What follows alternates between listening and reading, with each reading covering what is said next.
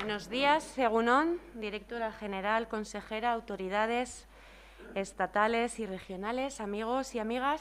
Buenos días, Segunón. Y nunca mejor dicho, Onguietorri. Bienvenidas y bienvenidos a Sangüesa. Esta expresión, que siempre es el primer gesto de acogida a los visitantes y recién llegados a nuestra localidad, cobra en esta jornada un especial significado. Como hace cientos de años, Sangüesa abre sus brazos para bien recibir a quienes llegan, ya sean caminantes, viajeros, aventureros, peregrinos, turistas, comerciantes, estudiosos o, como en esta ocasión, hayan elegido nuestra localidad para organizar este acto informativo para conocer y analizar las potencialidades de los programas europeos de convertir el Camino de Santiago en un motor de desarrollo socioeconómico para nuestra localidad, para Navarra y para Europa. En la esencia misma de nuestra localidad, de nuestra comarca, está la condición de acogida, de hospitalidad, de todos aquellos que llegan a esta encrucijada navarra. Aquí en Sangüesa han confluido y confluyen rutas con variopintas misiones, sentidos y objetivos. Caminos de fe o de aventura, de arte, para el comercio y el ocio, de agua o de transhumancia. Y siempre a lo largo de los siglos han tenido y tienen un tiempo, un espacio y un momento para el encuentro y para la parada. Muchos son los recorridos viejos y nuevos que se han ido completando, superponiendo y adaptando a lo largo de más de dos milenios para configurar nuestro territorio, su paisaje, su identidad, la economía y la vida social de nuestras gentes. Recorridos que nos unen, que nos enganchan, que nos conectan con la Jacetania, con Francia, con los valles pirenaicos y prepirenaicos, con las cinco villas aragonesas con Pamplona, con la Valdorba y la zona media. Y entre todos estos itinerarios antiguos, modernos o, milenarios, el más querido no solo para los sangüesinos y las sangüesinas, sino para toda la comarca entera, la ruta jacobea. Porque el camino de Santiago está en nuestra, eh, en nuestra propia partida de nacimiento. Sangüesa nació justo hace 900 años, a partir del camino que nos llegaba de Aragón, convertido en eje vertebrador de la localidad en su calle mayor. El trazado urbano, la monumentalidad de la iglesia de Santa María, el Palacio Real, una de las pocas iglesias dedicadas a Santiago en su advocación de peregrino, son algunas huellas que todavía en 2022 dan testimonio físico de este acontecimiento y mucho más allá de lo monumental y tangible, mantenemos y custodiamos retazos de nuestra historia y de la propia historia del Reino de, Navarra, como el origen del nombre del rey Enrique de Albret, leyendas, fiestas, eventos y espectáculos como el misterio de reyes que impregnan de sabor y aroma eh, jacobeo de nuestra ciudad. Pero el camino de Santiago en Sangüesa y en su comarca es mucho más que pasado, que historia, es también una oportunidad y un reto. En los últimos meses del Jacobeo 2021, difíciles, y el arranque del Jacobeo de 2022 en términos de sostenibilidad y enfocado el esfuerzo en la potencialidad para un desarrollo social y económico sostenible y equilibrado de la ciudad y de la comarca, estamos trabajando a escala local en el marco del programa para la conmemoración del 900 aniversario de la Fundación de Sangüesa, mediante la otorgación del fuero de Jaca a la localidad por el rey Alfonso Batallador, en general espectáculos, charlas y actividades que tienen el Camino de Santiago como argumento, inspiración y contenido. A escala comarcal trabajamos también. El Camino de Santiago se está configurando como uno de los ejes vertebradores del Plan de Turismo Sostenible de la comarca de Sangüesa y el, Prepirineo, que estamos trabajando de mano de la Dirección General de Turismo de Gobierno de Navarra. La ruta jacobea teje y entrelaza el territorio turístico de este a oeste. Asimismo, y en este sentido, destaca el trabajo que ya se está realizando por parte de la CHE para potenciar el ramal sur y recuperar el ramal norte del camino francés por Aragón, que además reforzará otro de los itinerarios culturales y patrimoniales que se están trabajando en esta zona, el camino natural del tren iratí. Y junto a las oportunidades y potencialidades nos van surgiendo los retos, los proyectos, las ideas, las propuestas de mejora. Que este tramo del Camino de Santiago francés tenga identidad propia, que el itinerario procedente de Sompor alcance el grado de reconocimiento, apoyo institucional, promoción y número de visitantes que tiene el Camino de Santiago francés que entra por Roncesvalles, que se pueda también renovar y embellecer todos los monumentos de la comarca, en particular los de Sangüesa, vinculados a este Camino de Santiago. Sabemos de la gran inversión que se está realizada se está realizando impulsada por el Departamento de Cultura de Gobierno de Navarra en el Monasterio de Leire, pero aún queda mucho por hacer, en particular para recuperar, rehabilitar y dotar de contenido algunos de los monumentos sangüesa, en particular nuestra querida iglesia de San Salvador. Con esta perspectiva, finalizando ya mi intervención, quiero agradecer al Ministerio de Deporte y Juventud, al Gobierno de Navarra, la elección de nuestra ciudad para hoy como hace cientos de años, actuar como anfitriona de esta jornada informativa dedicada a analizar las oportunidades y posibilidades de los programas de financiación de itinerario cultural más europeo de todos, el Camino de Santiago. Tanto yo, en calidad de alcaldesa, como el ayuntamiento que presido, estamos convencidos que será un día intenso e interesante para aprender y descubrir nuevas posibilidades y maneras de mejorar nuestras propuestas e iniciativas para explorar fórmulas que nos sirvan para convertir nuestros retos en proyectos auxiliables por, eh, los programas europeos. Y termino con una reflexión, petición final la información y el conocimiento directo de los mecanismos y fórmulas de financiación es muy importante, fundamental, pero no suficiente para sacar adelante los proyectos. Nuestra localidad y nuestra comarca tienen carencias provocadas en gran parte por la desigualdad de oportunidades y el importante reto demográfico. Nuestros recursos y medios humanos, técnicos y materiales son escasos. Por ello, confiamos en que más allá de esta oportuna sesión informativa nos sigáis ayudando. Esperamos, necesitamos que para desarrollar con éxito no solo los proyectos, sino incluso los expedientes de solicitud culturales, educativos, medioambientales y demás susceptibles de recibir financiación procedente de los programas de ayuda de la Comisión Europea, podamos contar también con vuestra ayuda, asistencia y acompañamiento. Muchas gracias y buena jornada y también buen camino. Mila esker.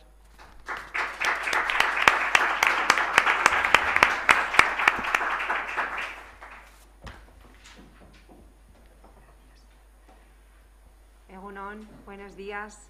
Es un verdadero placer eh, estar esta mañana aquí, inaugurar esta jornada informativa en Sangüesa, una ciudad con una rica y larga historia que que está muy vinculada al desarrollo que nació y se desarrolló en torno al Camino de Santiago. Muchísimas gracias, alcaldesa, por, tu acogida y muchísimas gracias, consejera, una vez más por, todo el, apoyo y el impulso que, dais al trabajo que, desde el Ministerio de Cultura y, Deporte eh, coordinamos en el marco del, Consejo Jacobeo. Esta, esta jornada que nos trae hoy aquí forma parte del programa oficial de actos del Año Santo Jacobeo 2021-2022. Perdón. Ah.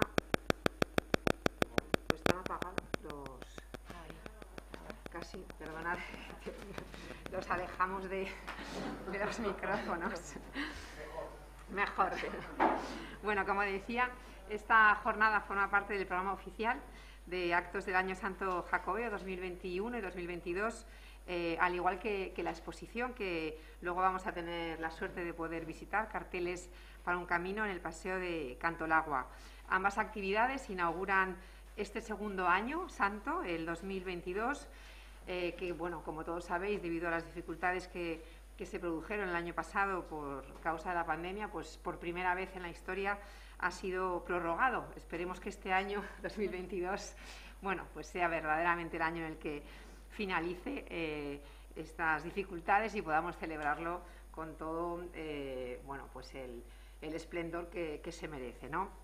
Eh, en el marco, por lo tanto, de, estas celebraciones, quisimos organizar esta jornada especial que se llama Mucho más Camino, el apoyo de los programas europeos a la ruta jacobea. Es una, jornada que lo que pretende es impulsar la cooperación internacional en los proyectos culturales El Camino de Santiago Y para ello contamos esta mañana con representantes de las oficinas de Europa Creativa de España y también de Francia. Contamos con, la directora de la Oficina de Proyectos Europeos del Gobierno de Navarra. Eh, y, bueno, quiero agradecer a ambas eh, su presencia hoy aquí, especialmente a Marta Gutiérrez de la Oficina Europea Creativa de Francia, que se ha desplazado desde París ayer y vuelve hoy eh, para estar con, nosotros aquí esta mañana. Muchísimas gracias a, todos. El Camino de Santiago, sabemos, lo ha comentado la alcaldesa, tiene un gran potencial como motor de desarrollo económico y social. Es también, hay que recordarlo y hay que presumir de ello, el bien cultural español que más reconocimiento internacional tiene, eh, incluida su declaración como patrimonio mundial. Es una ruta cultural que se mantiene viva desde la Edad Media. Es además el origen del programa de itinerarios culturales del Consejo de Europa, que la reconoció como primer itinerario cultural europeo. En la Declaración del Camino de Santiago del año 1987, el Consejo de Europa destacó que el camino es, hoy como ayer, el fruto de la existencia de un espacio europeo cargado de memoria colectiva y cruzado por caminos capaces de superar las distancias, las fronteras y las incomprensiones. Así que sigue hoy siendo también este mensaje tan necesario eh, como lo era entonces y como lo ha sido durante toda la historia, podemos decir, del Camino de Santiago. En torno a este camino se tejen muchas relaciones que han dado lugar a proyectos con un importante impacto social y de alcance internacional. Hoy vamos a tener ocasión de conocer de cerca las experiencias de varias de estas iniciativas. Así que agradezco a todos que se hayan acercado hasta aquí para compartirlas con nosotros.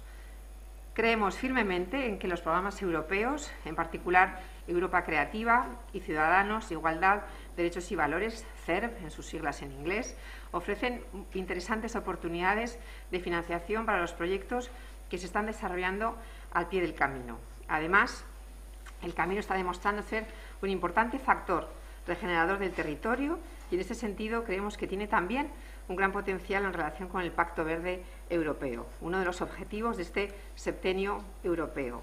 La dinamización del camino genera actividad económica, genera, por supuesto, actividad social en las zonas rurales de manera respetuosa con el medio ambiente, contribuye a proteger la biodiversidad y los ecosistemas naturales. Son muchos los proyectos del Camino de Santiago que en los últimos años han recibido financiación europea a través de diversos programas. Europa Creativa, LIFE, Horizonte 2020, Europa con los Ciudadanos o Erasmus Plus, entre otros muchos.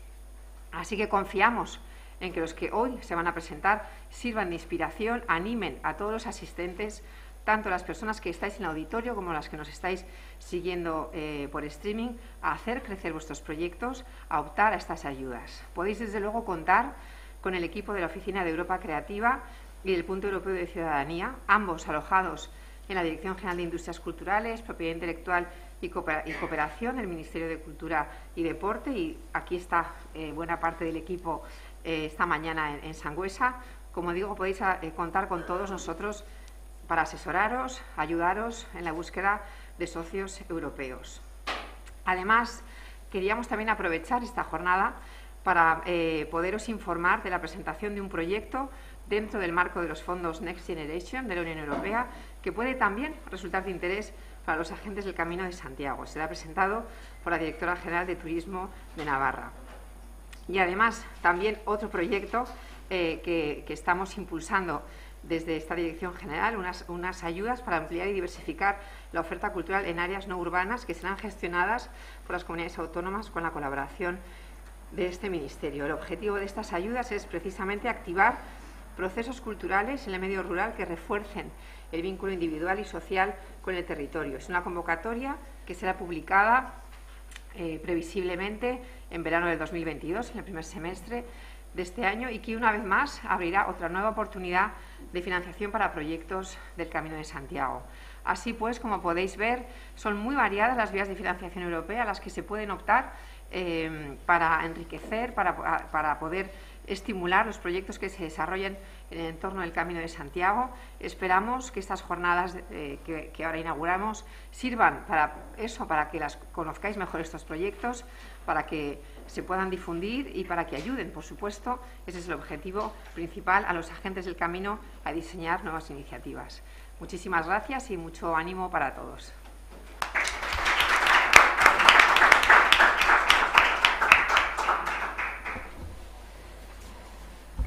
Alcaldesa de Sangüesa, directora general de Industrias Culturales, Propiedad Intelectual y Cooperación del Ministerio de Cultura y Deporte, amigas, amigos que hoy nos acompañáis aquí en esta jornada de manera presencial, pero también de manera telemática. Buenos días, Egunon. En primer lugar, mi agradecimiento al Ayuntamiento de Sangüesa por acogernos hoy aquí en su Casa de Cultura y aprovecho además de paso para felicitar para felicitaros por la conmemoración de los 900 años de fundación de la ciudad que vais a celebrar a lo largo del año 2022, seguro con un programa lleno de actividades y muy interesante y de gran interés atractivo también para acudir aquí a Sangüesa, conocerla y visitarla. Además, ha sido un placer colaborar con el Ministerio en la organización conjunta de esta jornada que nos va a permitir conocer las posibilidades que tienen proyectos ligados al Camino de Santiago para recibir financiación europea para su desarrollo. Iniciativas de carácter cultural, pero también turística o medio ambiente. Y es que el Camino de Santiago es un recurso de primera magnitud para que los territorios puedan ofrecer lo mejor de sí mismos desde muchas ópticas. Ya lo han comentado eh, las palabras que me han precedido. La historia, el patrimonio arquitectónico y natural o su gastronomía, por ejemplo, son solo, como digo, ejemplos de lo que los peregrinos y peregrinas que lo recorren pueden descubrir. El gran atractivo que tiene es una oportunidad para que desde lo público y lo privado trabajemos para explotar de una manera sostenible y eficiente estos recursos ante quienes nos visitan.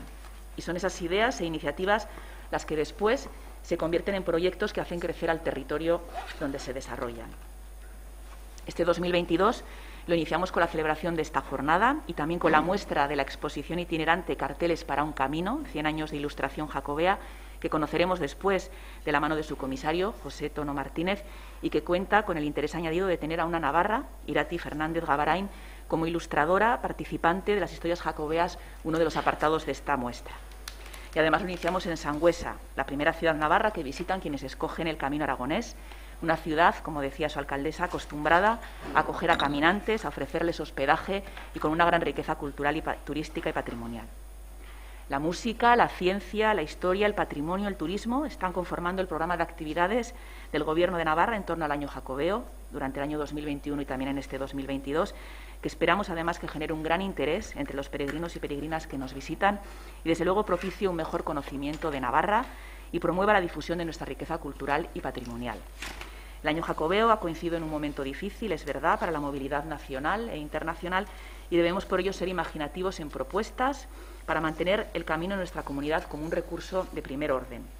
Sé que en ello se están esforzando todas las administraciones, desde las estatales como el Ministerio, las locales y, por supuesto, también las autonómicas en nuestro caso.